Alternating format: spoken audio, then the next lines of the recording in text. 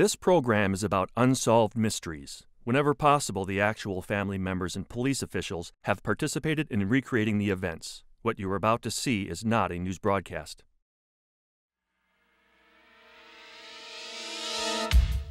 The breathtaking beauty of Canada's Yukon Territory has captivated travelers for generations.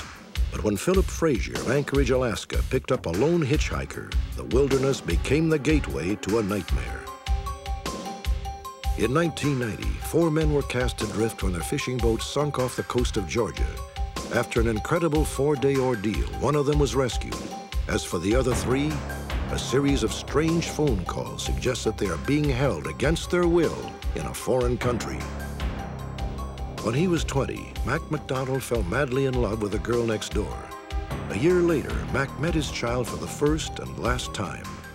Now that child could inherit Mac's estate, estimated at more than a million dollars. Freewheeling Las Vegas was a perfect locale for Max Carson, a fast-talking, self-styled film producer. In reality, Carson was a hustler and ex-cop named William John Wood. He is now wanted for rape. Join me for these intriguing new stories. Perhaps you may be able to help solve a mystery.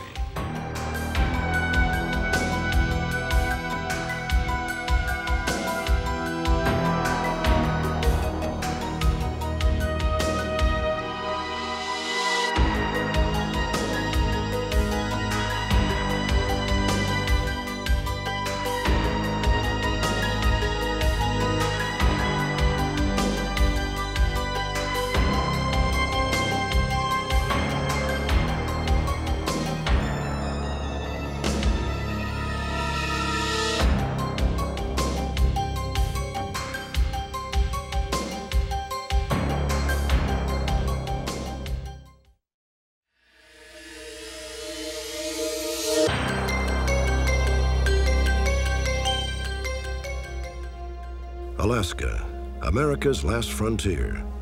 Highway 1 is its lifeline, a thin asphalt ribbon which cuts through Canada's Yukon Territory to connect Alaska to the continental United States.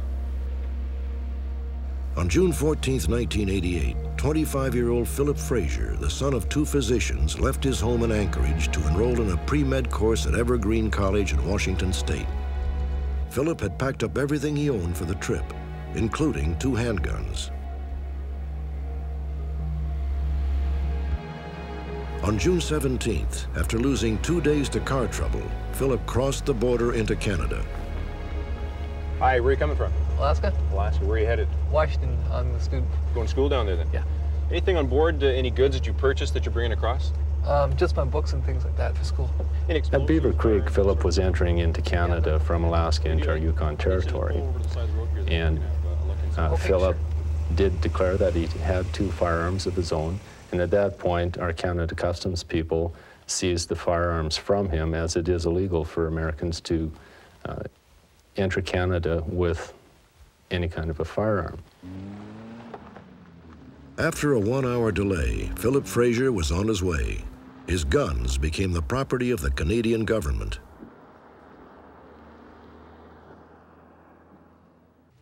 The next day, 600 miles south of the border checkpoint, a hitchhiker was dropped off at the 40 Mile Flat Cafe owned by Gay Frockledge. Gay and her daughter Tina were on duty. The individual that dropped him off didn't come into the cafe, just dropped him off and left. And just looking at him through the window, uh, it, it, there was something wrong. He didn't, there was something wrong with him, you know, in appearance, wasn't comfortable. And uh, I said to uh, Tina, uh, we've got a winner here. There's something wrong with this guy. I remember saying to Mom, you know, maybe he escaped from a mental institution because he was so strange. I think we've got a problem here. Yeah, you gonna stick around? Yeah, I, I think I better best not leave you alone. I wouldn't leave her alone in the uh, building with him, as there was nobody else there at the time. And so uh, I said to Tina, well, you go ahead and take care of him, and I'll just hang around. As I passed the side window, I seen a small black uh, car pull up right to the side of the cafe. And the young man in the car didn't, uh, didn't get out of the car, but proceeded to act like he was searching his car, like he had misplaced something that he needed. Uh, during this time was when another vehicle pulled up to the service station. Yeah, Tina, there's a car at the pumps. Do you want to serve him gas? And I'll just stay in here. Okay, sure. Tina Frockledge went to the parking lot to pump gas for another customer. She and Philip Fraser exchanged hellos. Is that everything? Yeah. Gay and Tina were relieved when the hitchhiker finished his meal. They remember that he paid his bill in Canadian money.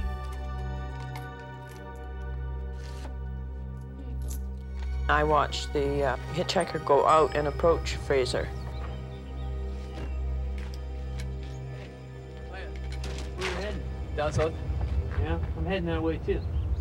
Good. And how about a ride? Uh, I, I'm gonna go in here yet. You sure? Yeah. All right.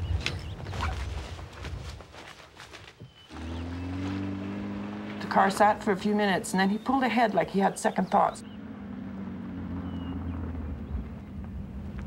Heading in this direction? Thought you were gonna have a bite to eat. Mind if I go with you? You- is it all The right if I- hitchhiker just ran beside him and pulled the door open, and the uh, young man in the car proceeded to let him enter.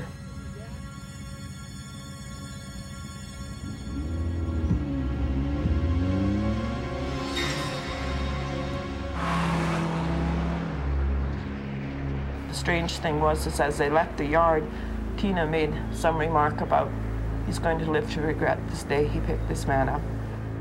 It was like a sixth sense that this man was capable of anything.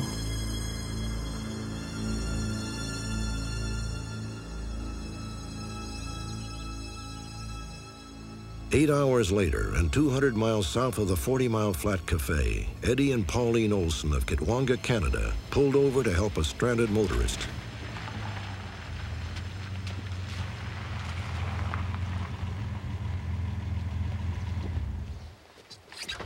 Oh, wow, am I glad to see you guys. Hey, I think my car ran out of gas. I don't know what happened because I stopped at the last gas stop, but it just quit. Um, I'm on my way to college, and I've got all my stuff in the back of the car. You could tell he was nervous, but I thought that, uh, well, you know, he was just scared of being out here this late at night. Didn't want, you know, to stay out here because it's kind of a remote area, eh? And um, at that point, I just said, well, I'll tow you home and we'll figure it out in the morning. Now you can sleep down here. We've had quite a few people stay down here and they have a pretty good sleep. No, this will be great. I really appreciate everything you guys have done for me. You can just pick out whichever couch you want there, and there's some blankets right there. Okay. Have a good sleep, and we'll see you in the morning. All right, thanks. Sleep good.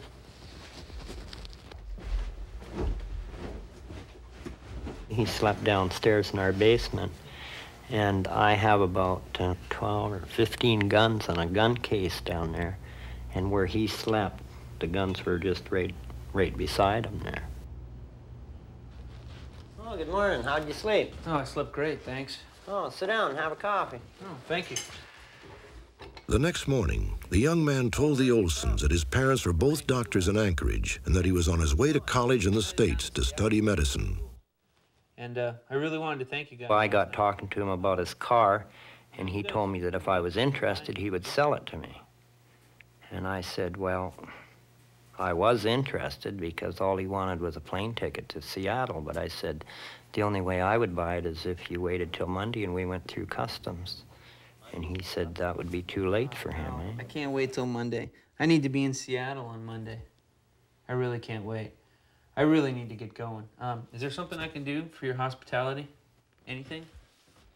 The Olsons were surprised when the young man pulled out two wallets and began to behave secretively.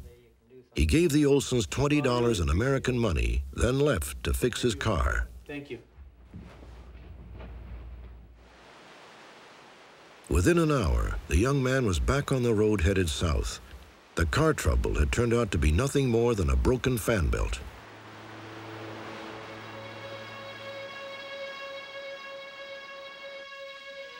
Twelve hours later, the charred ruins of Philip Fraser's car were found at a car wash in Prince George, British Columbia, 300 miles from the Olsons' home.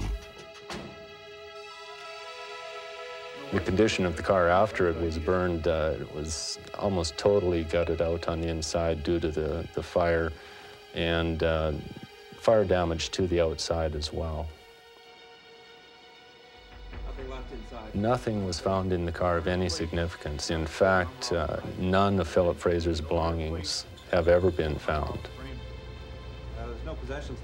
The parents were contacted in Alaska, and there was a, a great deal of investigation done at that point, uh, as Philip was considered a missing person and potentially a homicide victim.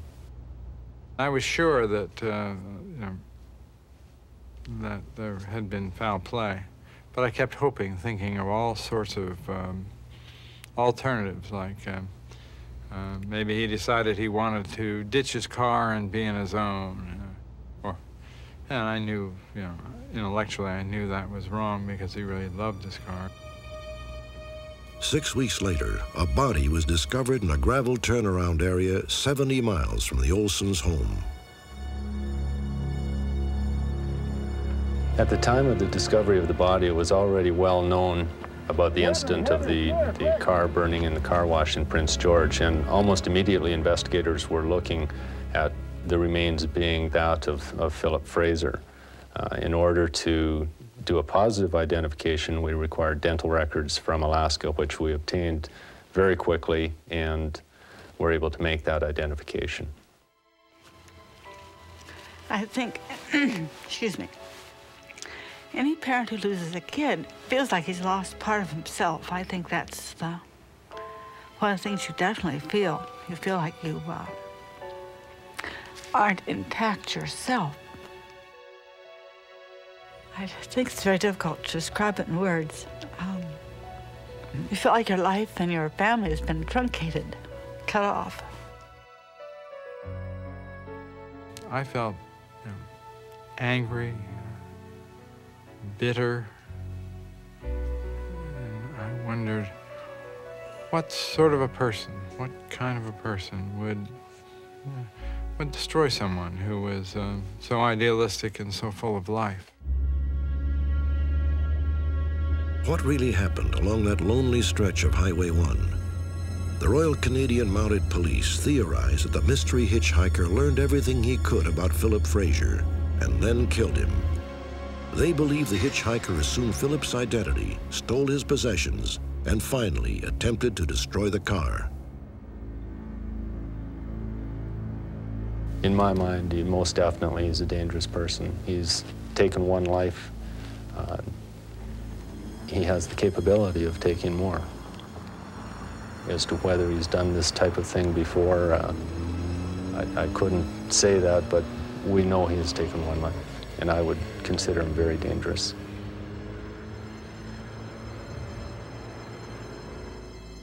These are composite drawings of the hitchhiker based on the descriptions of Gay and Tina Frockledge and Eddie and Pauline Olson. He is Caucasian, about 5 feet 9 inches tall, and weighs approximately 225 pounds. He has a flabby belly which overhangs his belt and is between 20 and 25 years old. He has brown hair and brown eyes. The authorities believe that the hitchhiker is familiar with the Toronto area and the Seattle, Washington area. He may be masquerading as Philip Innes Fraser. Among the items never recovered were Philip Fraser's birth certificate, visa, passport, and checkbook. Next, three fishermen are lost at sea, but some believe they survived and are being held against their will.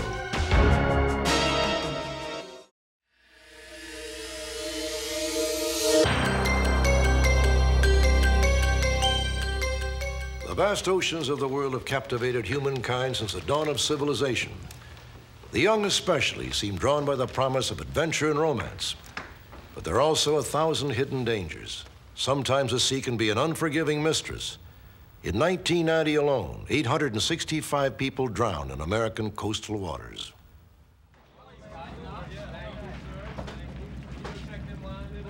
April 12, 1990, Richmond Hill, Georgia, just south of Savannah. Four commercial fishermen prepare to embark on a seven-day expedition in the Atlantic. The captain is 23-year-old Billy Joe Neesmith. The crew includes his brother Nathan, his nephew Keith Wilkes, and a friend, Franklin Brantley. We ready? Let's go fishing. Franklin, you in? I'm in. I'm in. Let's go. All right. It's all yours. In the late afternoon, they set off in the Casey Nicole, a snapper boat owned by Billy Joe Neesmith's employer. The boat had recently been returned to service after five weeks in dry dock for maintenance. We were headed out probably approximately close to 90 miles offshore. I guess it was somewhere around 3.30, 4 uh, in the morning, that next morning. It was still dark.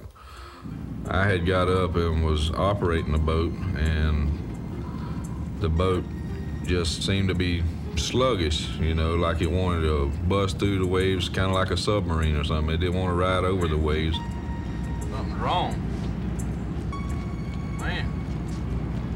Oh, Don't feel right. Billy Joe!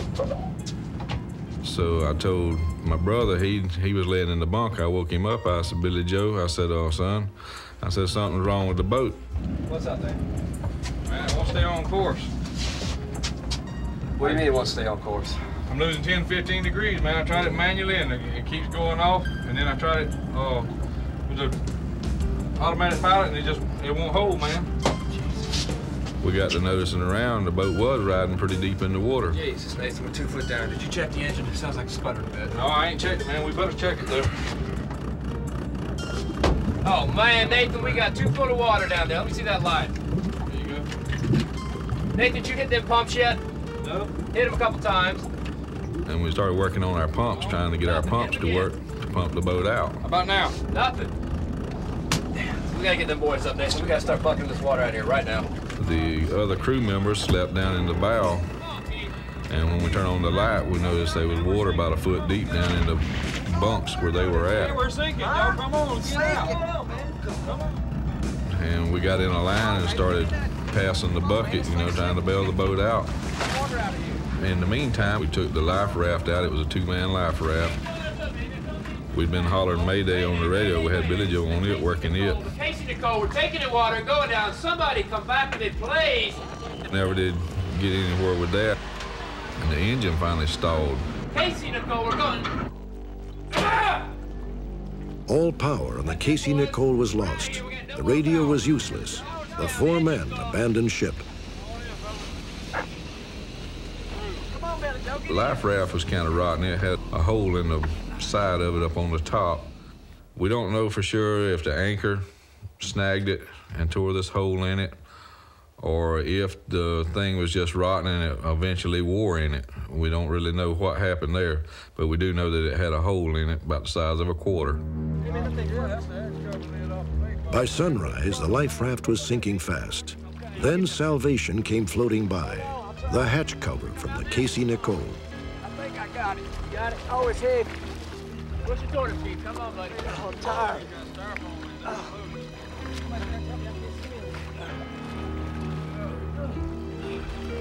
on. The four men tethered the raft to the hatch cover and clambered aboard. It was then that Nathan Neesmith spotted the hull of the Casey Nicole in the distance. It looked like it was maybe three or four miles from us. I said, I don't know what kind of chance we got, but at least maybe one of us can make it to the boat and get some kind of help. Well, that's what I struck out to do. And they started hollering, no, no, you come back, you stay with us. Uh, we can't separate up. We separate up, we're gonna be split up and ain't no telling what to go wrong.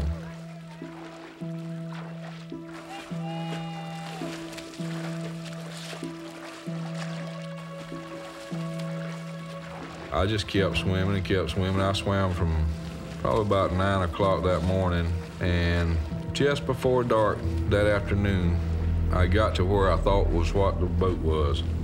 And I got to looking around, and I seen the stern of the boat sticking up at a distance, probably another hundred yards or so to the right of it.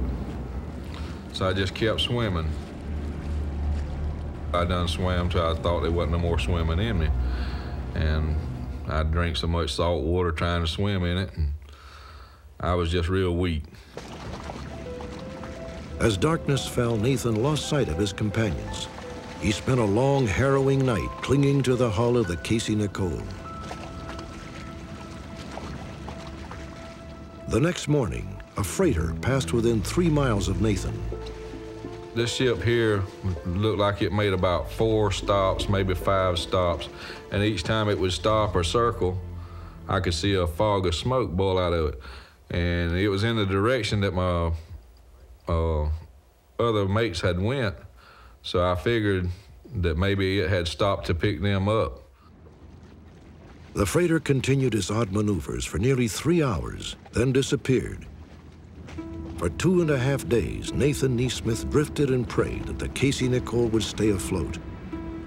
All seemed lost until a large wood and styrofoam bait box ripped loose from the boat's deck and popped to the surface. I couldn't tell what it was for a minute because I was scared and everything like that. And I swam over to it where I could get a better view of it. Like I say, I was pretty weak. I couldn't, I was done about starved down. I was hungry and thirsty and really weak. And I got to the front of it, and bless God, the whole front was out. I mean, it was just like, just like a boat to me. I mean, it, it looked like just something that I needed at the moment.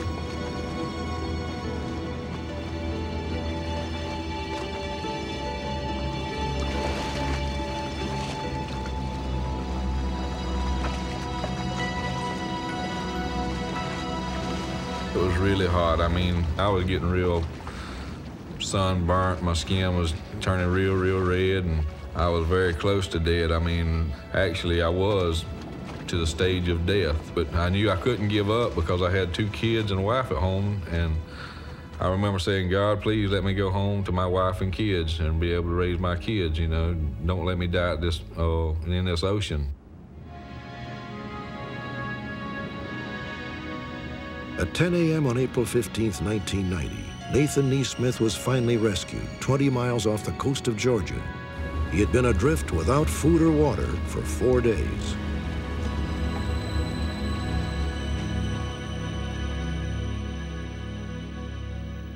Nathan Neesmith's companions were never found. A large-scale search mounted by the Coast Guard yielded no trace of the life raft or the hatch cover. But Nathan and his family never gave up hope that the three men might somehow have survived. It seemed a futile hope until a strange telephone call was made to the home of Nathan's sister, Onita. It was October 5, 1990, six months after the Casey Nicole had sunk. Onita's mother-in-law answered the telephone. Hello? What? I can't understand you. Can you speak English? The caller, a man, spoke in Spanish and seemed unable to understand English. No. I can't understand a word you're saying. You Can you speak English? All this person would keep saying is repeating our phone number and saying our name, and that's all. Then it was just like a, a cut off. It wasn't anything after that. And, you know, we just kept saying hello, hello, and it was just cut off, static cut off. That same day, an unusual call also came into the home of Doug Tyson, owner of the ill-fated Casey Nicole. Hello? Once again, the caller was a man. The only English words he said were the Tyson's name and telephone number. That was strange. What do you mean? They were speaking in Spanish. In Spanish? We didn't say anything about the call when we got it. Six weeks uh, later, after that, about six weeks, we were down visiting with the Neesmith family, and uh, they started telling us about their call. And after they got through, I said, How long ago was this? Asked them. They thought back a minute. They said, uh, About six weeks. I looked at my wife, she looked at me, and she said, nodded her head. She said, About the same time, eh? I said, Yeah. Over the next year, five more calls came in, three to Onita and two to the Tysons. Finally, on March 6, 1991, the caller spoke a single sentence in English. Hello? Excuse me? I said just very simple words. Not I'm bringing it home, I'm bringing him home. Just said I'm bringing him home. That was it. Hello? Hello? After only a moment, the connection was broken. There have been no calls since. The Neesmiths and the Tysons are convinced that the three missing men were taken aboard the passing freighter and perhaps transported to a foreign country against their will. I think they're somewhere being held. I really do. And I think that whoever called us is putting themselves on the line because my brother or my nephew or our friend, one of the three has made a friend, a very dear friend, because this person that's doing this is probably putting himself on the line to do it. You know, in my mind, people are lost at sea. They're never found. I realize that. But there's no explanation for where the debris went. And then the fact that Nathan seen the ship stop the first day, uh, you add all those together with the phone calls, and uh, I think it adds up to a tremendous amount of hope. In my heart, uh, yes, I feel like they're alive. I mean, uh, I think they had a lot, I know they had a lot better chance of surviving than I did. I don't think that I would have ever made it not knowing that they couldn't make it. What really happened to the lost crewmen of the Casey Nicole? The Coast Guard search was the largest ever conducted in the area of the Atlantic Ocean where they disappeared. Officially, Billy Joe Neesmith, Keith Wilkes, and Franklin Brantley are presumed dead. Unofficially, there seems reasonable hope that they may still be alive. When we return, one man's poignant search for his long-lost child who stands to inherit more than a million dollars.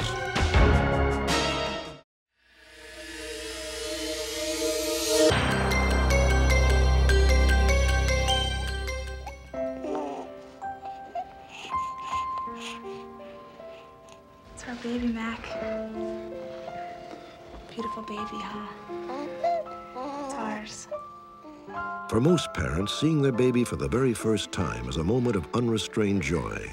No, I... But for this young father, it was a moment of confusion and panic that drove him away I'm sorry. from the girl he loved and the child he has not seen since. Max, don't go. Don't. Four decades later, the young man is 63 years old. W.B. Mac McDonald is now a wealthy businessman with a sizable estate. Yet he is very much alone. Mac has never been married. No one from his immediate family is still alive. For 30 years, Mac McDonald has been searching for his child, but has found only frustration. Those lost years are the one thing his money cannot buy. Mac's story begins in 1948 in Pomona, California, when he fell madly, perhaps tragically, in love with the girl next door. Her name was Mary Helen Carr. She was just 16 years old.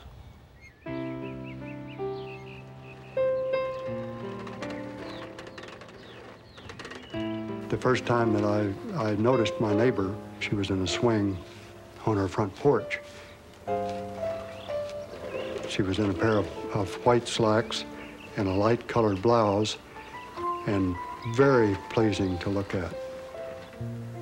While she was there on the swing, there was uh, definite attraction both ways. However, I guess I was a little shy at that time, that uh, I didn't speak to her at that time. It was, it was several months before I finally began to speak to her. Nice bike. Yeah, I like to keep it clean. My name's Mac. Mary Helen. Nice to meet you. I've seen you before. Uh, I'm just cleaning my bike. Uh, would you like to go for a ride sometime? My mother would forbid me to ride that, especially with you. Is your mother always here?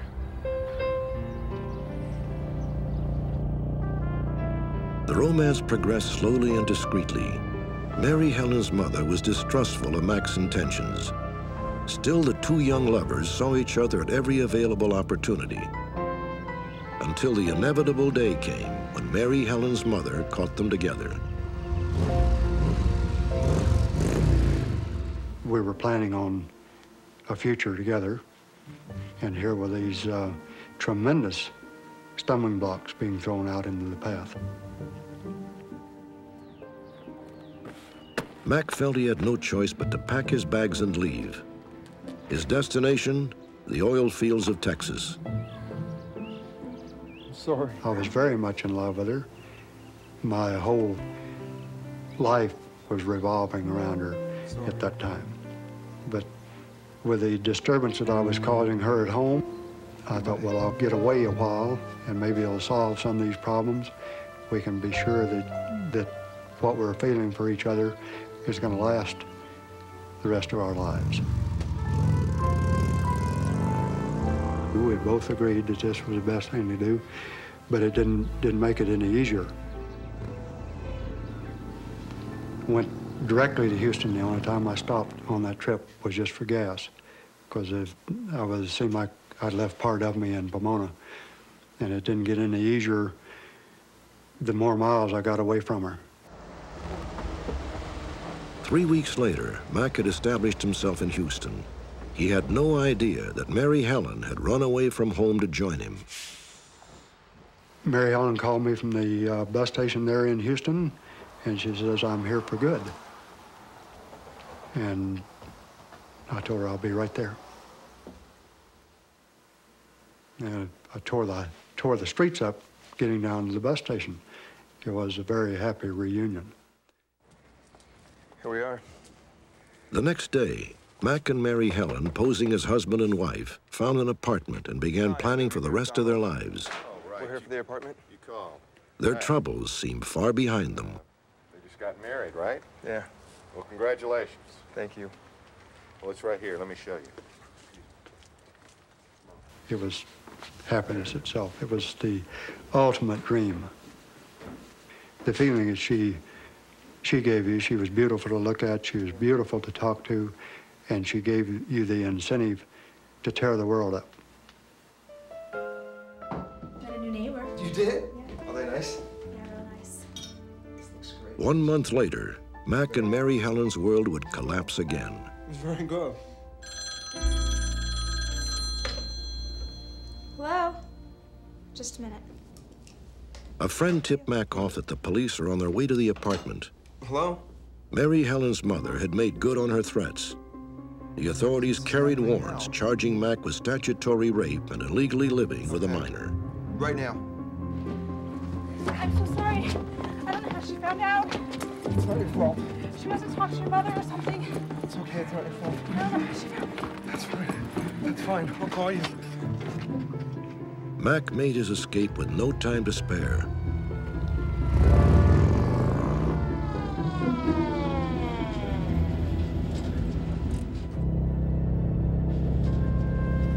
Left Texas, and it was in the afternoon. Seemed like afternoons is when all these departures took place, and I didn't stop till I was out of the state of Texas. I was devastated again. They jerked her back to uh, California, and I had no way of contacting her again.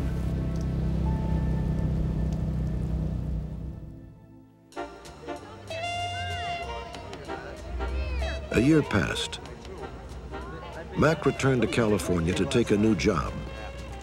One evening, he and a friend stopped off at a drive-in in Long Beach. Mac?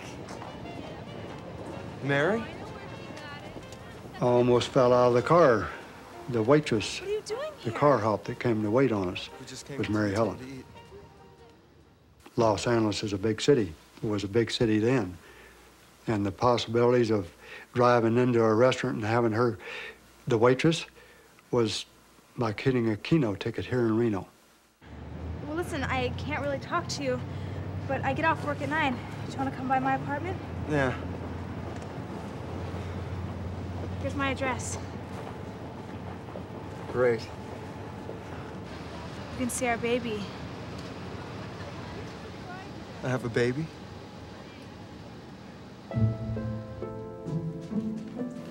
I almost had heart failure. It took my breath away. Because I had no idea she was pregnant. There was that possibility, though. So I told her I'll be right over.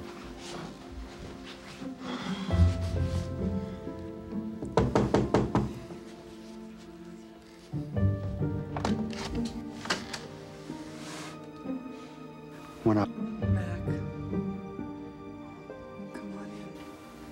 with this baby in her arms. Come in, look. Well, I thought with the police department is probably on premises. Honey? You know, this is just a matter of time till I'm going to be shackled and in jail over this. So glad to see you. So I was so distraught when her mother opened the door yours, hold him. that I overlooked the fact that she was about half civilized the first time she'd ever spoke to me civilly. So beautiful. I was in such a traumatic state of fear. The benefit of being able to hold, hold your baby for the first time, I, I missed that. Because all I could think of, either the law is in the bedroom or they're on the way. Max, sit down. Mac was terrified that Mary Helen's mother still had a warrant out for his arrest. I can't. In California, statutory rape was punishable by up to 30 years in prison. Mac McDonald stayed for less than five minutes.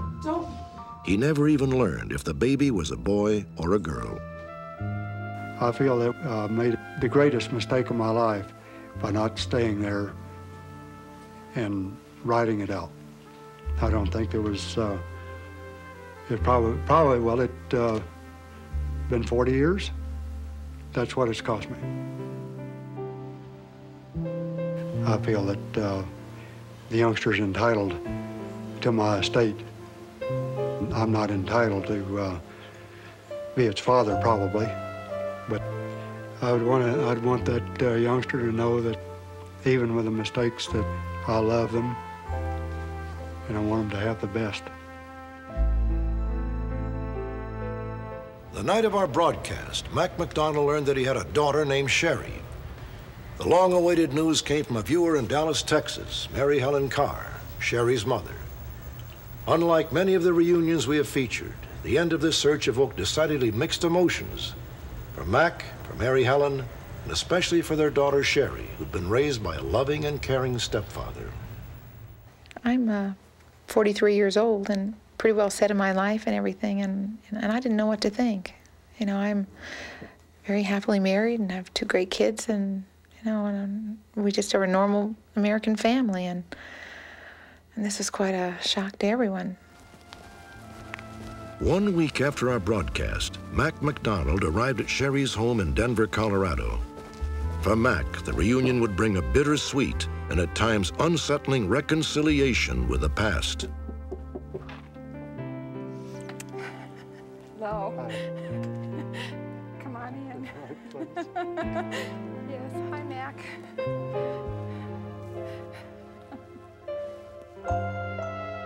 It's hard to describe the feeling that I had for my daughter when I opened the door and she was there and I was able to hold her.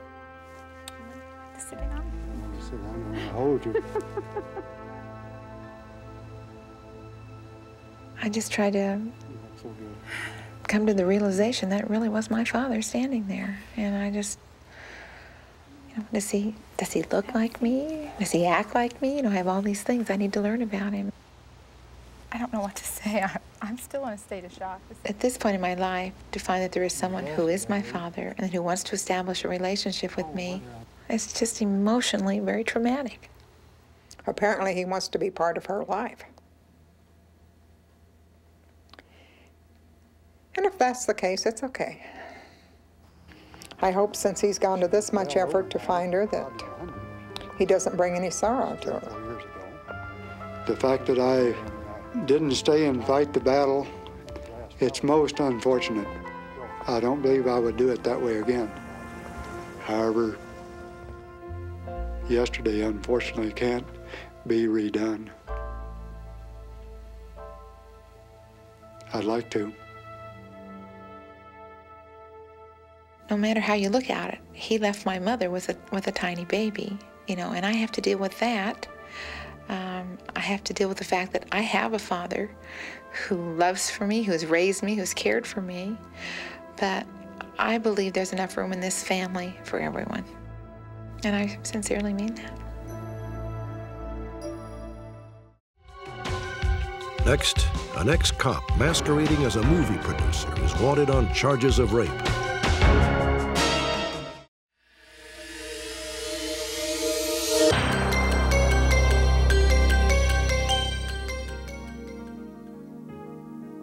Every year, more than 20 million tourists descend upon Las Vegas, Nevada, the gambling capital of the world.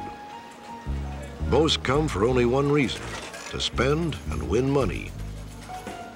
It's no wonder that Vegas is also a mecca for every kind of hustler and con artist imaginable. Yes, well, I talked to two of the guys yesterday, and they seem to be uh, excited about this whole thing, and so... Uh, In May of 1988, a self-styled star maker named Maxwell Carson arrived in Las Vegas. Carson was a smooth talker who dabbled in anything that might make money. Uh, within the next 10 minutes. Carson owned and operated a sports betting business, a fledgling film company, and a modeling agency. But Max Carson was a man with a dark past. He was an ex-cop gone bad whose real name was William John Wood. In 1972, Wood resigned from the Toledo, Ohio police force while under investigation for misconduct.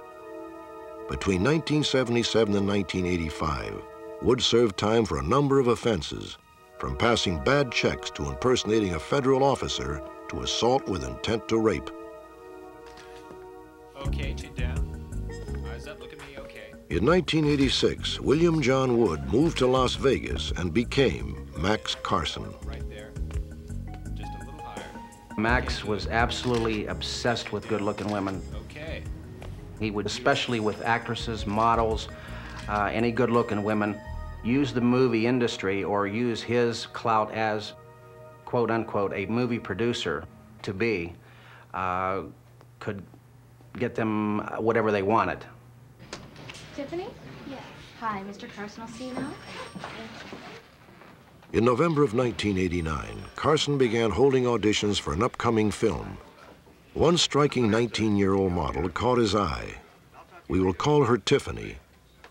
Hi, how are you? Great, thank Have you. a have a seat. And you're I'm Tiffany. Tiffany. I went in, I talked to him, and uh, he told me a little bit about what the movie was about and uh, what I would be doing. And uh, I think there's a role in there for you. Of course, the speaking part. That'd be wonderful. You uh, He had started talking about money, and I felt strange that he would offer a large amount of money to someone in my position that's never really had any acting before. So I talked to a couple agents, and they'd all heard of him. Uh, they had done their homework on him and found that there was nothing wrong with him. Super. Well, we've got your address and phone number and how to get in touch with you, and I appreciate you coming in. Tiffany had several other meetings with Carson, but the movie never got off the ground. Max Carson's empire was on the verge of collapse. We have employees that haven't been paid. Now, Bob, just relax. Have faith. We've been through so much together. By January of 1990, Max Carson would shut down his offices, yet he would maintain the illusion that he was still in full operation. Hello. I'd like to speak to Tiffany. In February, he called Tiffany and hired her as a last-minute replacement model for a photo shoot. Problem down here. We had a photo session this afternoon, and Carson arranged to meet her later that day at a restaurant on the Strip. Matt? Oh, hi. We're all set up. We got uh, two rooms set up, one for wardrobe. I met him in front of the coffee shop, and he said that uh, we needed to go to uh, the motel there where they had set up a dressing room for me. Um, oh, here's the limousine we're going to be using. And, uh, oh, I want to thank you very much for coming here on a short notice. This uh, shoot should be probably about two hours. You'll be done, and those dresses are just fine. Uh, I started to um, feel a little uncomfortable just because there was no one around. Tiffany, why don't you just go over there and fill out those forms, and I'll make a call. So I left the door open with my bag sitting between the room and the door so that it would make it a little bit difficult to get the door shut. Uh, this is Max Carson. Listen, I'm expecting somebody in very shortly, and uh, would you... Supposedly, uh, he was calling the makeup artist and uh, the photographer to let them know that we're here and waiting. Yes, okay. Well, I appreciate that. Thank you very much. And about that time, he had asked me if I would give him a hug. Meantime, And I knew that I was in trouble. Uh, Max, I don't feel very comfortable, okay? Um, I'm not gonna do it. what, what do you mean you don't feel very comfortable? Let's just forget about the whole thing, Max. You're not going anywhere. Don't make a sound. Do what I say, and I won't hurt you.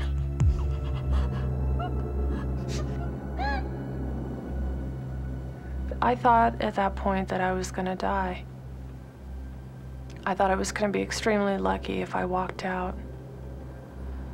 I tried very hard to cooperate, hoping that that would keep him from becoming more violent. I mean, this, this was scary. Later that day, Tiffany called the police, even though Carson had threatened that he would accuse her of prostitution if she told anyone. Max Carson was charged with kidnapping, sexual assault, and battery, but by then he had disappeared. Two months later, and 3,000 miles away, Max Carson surfaced in Cocoa Beach, Florida. Once again, he tried to work a scam on a beautiful woman. Hi, I hope I didn't keep you waiting. No, I just uh, got here.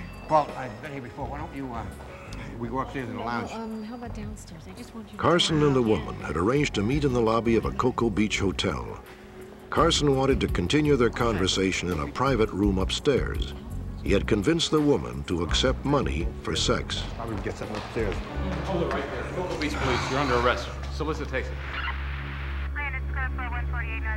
Max Carson had walked into a clever trap. The woman was wearing a concealed wire as part of a sting operation. Carson pleaded guilty to solicitation of prostitution.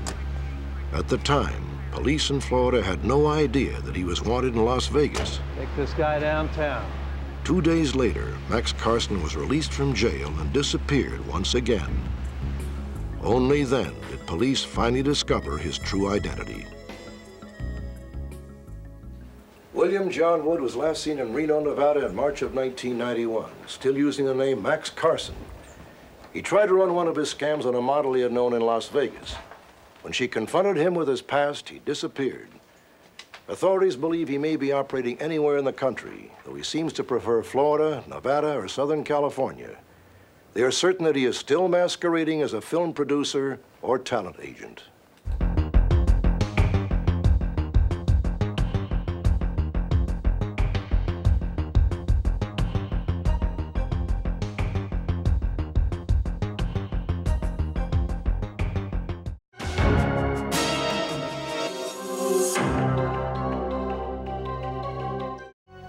Join me next time for another edition of Unsolved Mysteries.